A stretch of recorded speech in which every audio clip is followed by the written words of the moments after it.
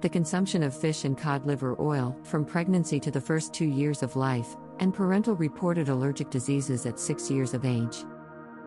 Did you know that eating fish at least once a week, at one year of age, was associated with a 28%, 40%, and 34% reduction in the odds of current eczema, asthma, and wheeze at six years of age?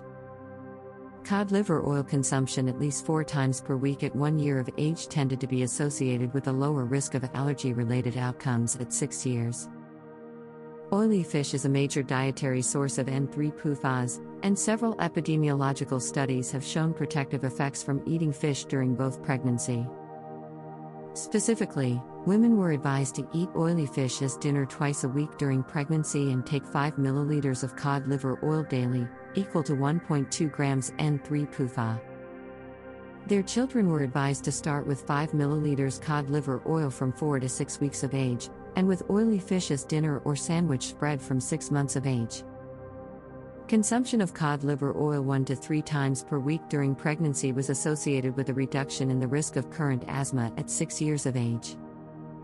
Infant dietary intake of any fish or lean fish at one year of age was associated with a clinically and statistically significantly lower prevalence of current eczema, asthma, and wheeze at six years of age. The consumption of oily fish at one year of age was associated with a reduction in current asthma and wheeze.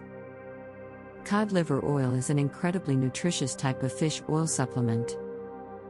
It's very convenient and contains a great combination of omega 3 fatty acids, vitamin A, and vitamin D.